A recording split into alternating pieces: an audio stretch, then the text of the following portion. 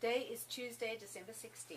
I'm Joan Gremont and I'm here with Lynette Rakusen and we are very happy to be interviewing you, Avrille. And it is part of the Roots to Boost project of the Dallas Jewish Historical Society. So tell us about your life in South Africa, about when your family came originally, where, where they came from, whatever you know about it, and what can you share about their lives and early years in South Africa? Well, unlike most of the South Africans, my mom's parents were both born in London. And we come actually from Tunisia to Portugal, to Brussels, to Holland, and eventually to London, leaving Portugal during the Inquisition. Mm -hmm. um, I really don't know much on my grandfather's side, except my grandfather was also born in London. Mm-hmm. And this is my granny and grandpa. And on my dad, both his parents were born in London, and my father was born in London. And he came to South Africa when he was like 18 months old. Consequently, actually, uh, by naturalization, I can be a British citizen as well, because my father was born in London.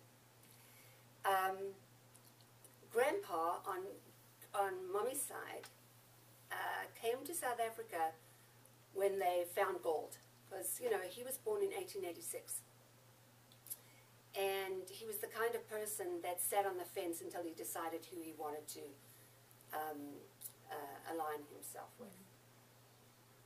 I, I remember so distinctly always going for like Friday night dinner and all the Yom Tov to mommy's parents, um, Miriam and Barney Levy. Um, my mother tells me my mother had two brothers. And of course, I knew Uncle Harry uh, uh, well, and Auntie Helen, and my cousins Pauline and Astor. And um, mommy tells me the story that during the Second World War there was a bell that used to ring on Granny's gate, and there was a one person who would come and tell you if your son had been killed or what have you. And mommy said they heard the bell ringing, and she went onto the balcony and she saw the soldier coming up. And mommy said her hair turned snow white overnight. This was her baby, and he was killed in the Second World War fighting against Rommel in the desert in um, in uh, North Africa. North Africa, mm -hmm. yes. And as a matter of fact, he's buried in what was then Abyssinia, which is now Ethiopia, in El Alamein, I think this was where they were fighting. So I've actually never seen, and I'm very sorry I don't have a picture of him, because I do have a picture of him. Such a handsome guy, and I'm so sorry that I don't, you know, mm -hmm. I never got to meet him. My grandparents on my father's side, as I said, were both born in London. My granny Rose died before I was born, so I don't know anything about her. And Grandpa Julius was I, he just was never around. So I know nothing about him either. And he died when I was like 10 or something like that. So really, I was always with my granny and grandpa on my, you know, on my parents' side. It's so funny. And you'll forgive me, everybody, but I have to drink while I'm talking. Whenever we would go on vacation, we were so close. And it's such a sadness that we all got spread out all over the world. But we'd always go to Granny and Grandpa first. And Granny couldn't speak any Afrikaans. She was a Cockney. She'd say, how langs, that was the only thing, uh, uh, meaning keep to the left. For those of you who don't know that we drive on the left-hand side of the road in South Africa. I used to go every Saturday morning, sorry for those who are religious, uh, to my granny and grandpa, and my granny loved to hear me play the piano.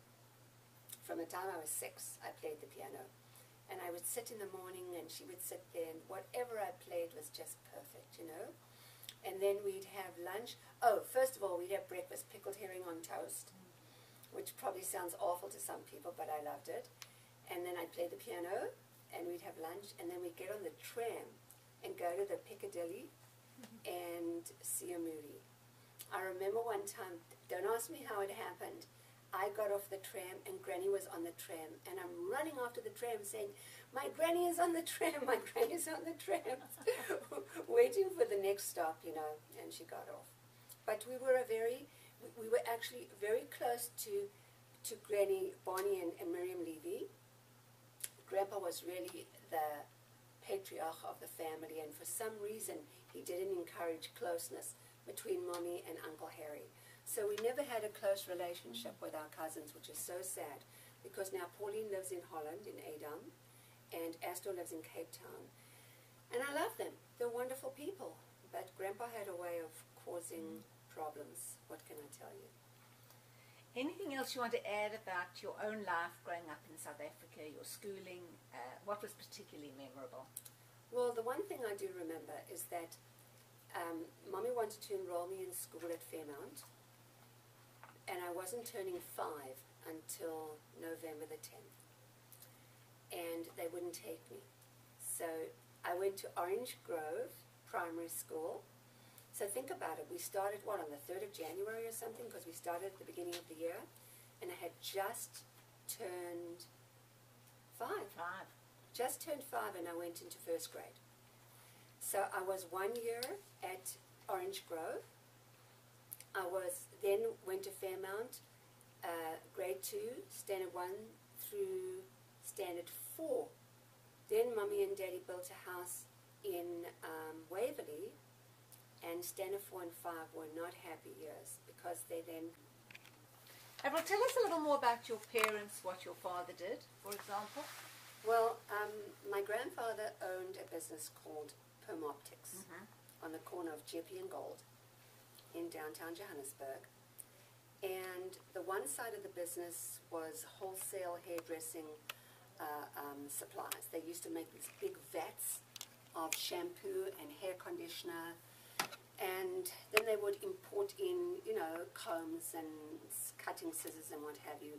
And um, the salesmen would go out and they would sell to the actual salons. My Uncle Harry, my, my mother's brother, was on the optical side. He was an optician. And so, you know, he ran that size, side of the business. The very unfortunate uh, factor in this business, because Grandpa owned the building, was my father went in with my grandfather, and everybody adored my father, absolutely adored him. But the problem was is that Grandpa was going to be in the Stone Age the rest of his life. When people went to electric typewriters, Grandpa still had those old-fashioned typewriters. I don't know how we typed on them. You really needed a, a lot of strength in your hand, you know, with the carbon paper and the what have you.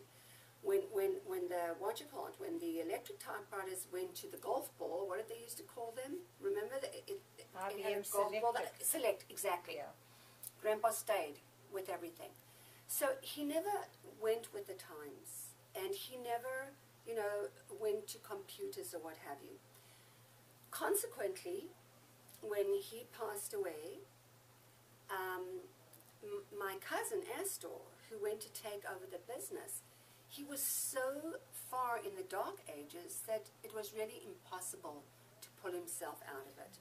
And it was sold for next to nothing, which was really a shame because those two businesses had supported two households for all the time growing up. Mommy actually also used to work in the business, you know, on, on, on her occasions.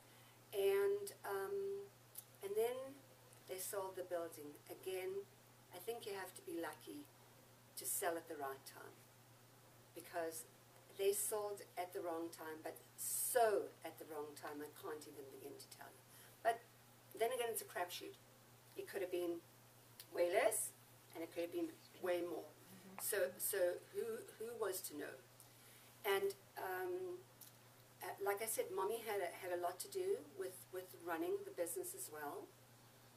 Um, my dad was just, I mean, everybody asked for him. They didn't want to speak to anybody. Can I speak to Mr. Harris? And you know, as sweet and kind and wonderful and loving my father was. I mean, eh, eh, my father never laid a hand on us. That that wasn't in the, in the picture. Nobody laid a hand on you, you know. Mummy tried on occasion, and my brother ducked and Did I tell you I have a brother in the United States? No, you didn't. My brother, Sydney, said, Chan, as I call him, how's it, Chan? Um, lives in Irvine, California. He actually followed me to Dallas, and I'm sorry, he hated it here. So, and, and he, he met somebody. First, they moved to Seattle, and this is talking about luck. They bought a house in Seattle. He's always done computers, whatever he does with computers. They bought a house in Seattle, gorgeous house. When you sat in like the little breakfast nook and you looked out, you could see horses on the trail. And when he sold, I think they were there maybe a year or two. He made like five times as much because Seattle was booming. And then they went to California. Now, because he had made all this money, uh, he was able to buy into something nice in California, although I still have no idea how they live there with the taxes. And he is a semi professional mountain biker. And I mean, he's, he's amazing. He's got two sons. My one son is, his one son, Aaron, is a genius. He's a, a senior at USC, the University of Southern California. I think he has like a 4.56 GPA, and he's doing a double major, um, um, mechanical engineering and computer science. And there's nothing you can ask Aaron that he doesn't know about.